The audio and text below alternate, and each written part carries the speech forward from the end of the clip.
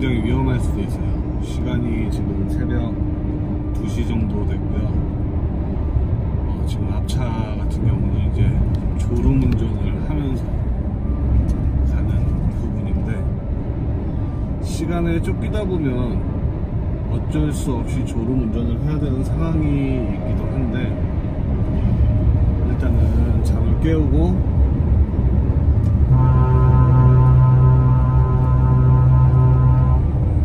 슈어를 하도록 할게요. 상대방 차주님도 빵 해가지고 어, 나 졸음 깼다 라는 사인을 보내주고 있는 것 같아요. 네, 저 차뿐만 아니라 지금 계속 달리다 보면은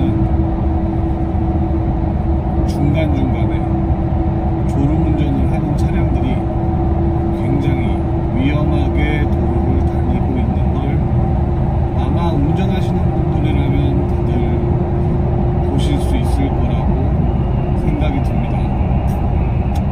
뭐 이제 저희 같은 경우는 아, 저 차가 졸음 운전을 하고 있다라고 어, 뒤따라 조금만 가다 보면은 금방 알 수 있어요. 이제 졸음 운전을 하시는 분들의 가장 큰 변화 특징은 어, 일정하게 계속 흔들면서 가기도 하지만 가장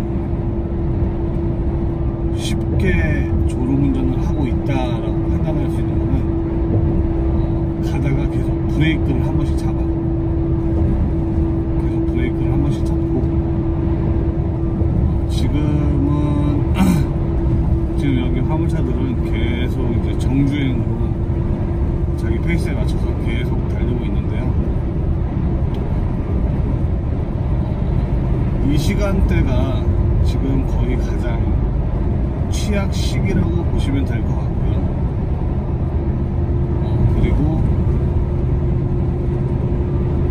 이제 화주와의 약속이다 보니까 갈 시간은 정해져 있고 도착해야 되는 시간은 정해져 있고 어, 잠을 쉬었다 가자니 화주와의 약속 시간이 들고 그러다 보니까 잠과의 싸우면서 졸음과 싸우면서 계속 운행을 강행하는 분들이 많고 저 역시도 시간에 쫓기다 보면 저 역시도 졸음 운전을 하면서 어, 이동을 하기도 합니다. 네. 마음으로서는 졸음 운전을 하면 안 된다. 조금이라도 졸려오면 휴게소나 졸음 곧장 들어가서 휴식을 취하고 가야 되겠다. 라는 생각을 항상 하지만 현실적으로는 그게 참 안 돼요. 예, 물론 어, 현실적으로 안 되는 이유는 뭐 많아요. 그 중에 대표적인 예로는 어, 일단은 거의 대부분이 화물차가 굉장히 고가의 차량이다 보니까 거의 대부분이 할부를 찍어야 되는 압박감. 그리고 할부를 찍으려면 기본적인 매출을 올려야 되는 그런 중압감 때문에 이 늦은 시간에도 운행을 하고 피곤한 상태에서도 운행을 많이 하죠.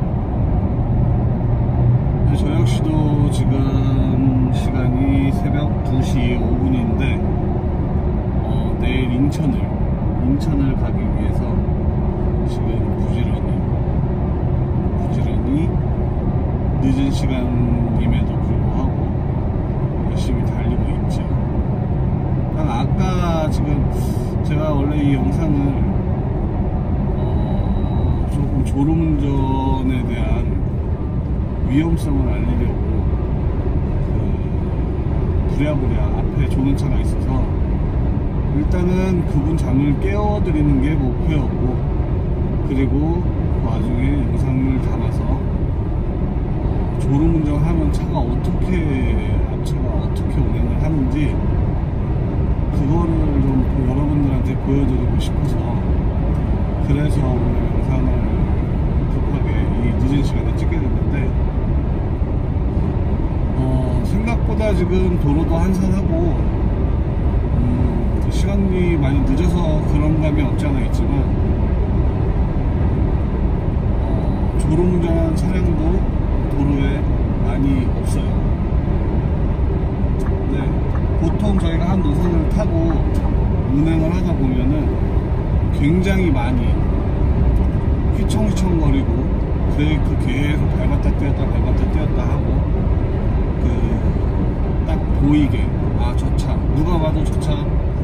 졸음운전을 하고 있구나 라고 보여질 만큼 심하게 졸면서 가는 차들이 많아요 근데 오늘은 어, 지금 운행하면서 아까 그 전에는 계속 조금씩 흔들면서 가는 차들을 봤는데 이 영상에는 아까 그 보통 카고 차량이 조금 졸았죠. 네, 그래서 일단은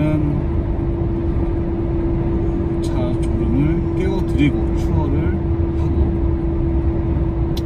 졸음 운전을 한다고 앞차가 과정을 했을 때 여러분들도 운행 중이시라면 크락션으로 깨워드려야 돼요 네. 졸다가도 크락션 소리를 들으면은 다 깨게 돼 있거든 사람이.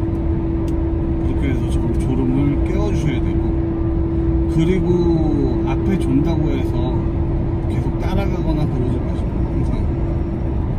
왜냐하면 1, 예, 최악의 조건으로 1차 사고가 난 다음에 2차 사고가 생기는 경우가 많기 때문에 네, 앞차가 졸면 첫 번째로는 그 차를 깨워드리기 위해서 뭐 크락션이라든지 경고를 주어야 되고 그 다음으로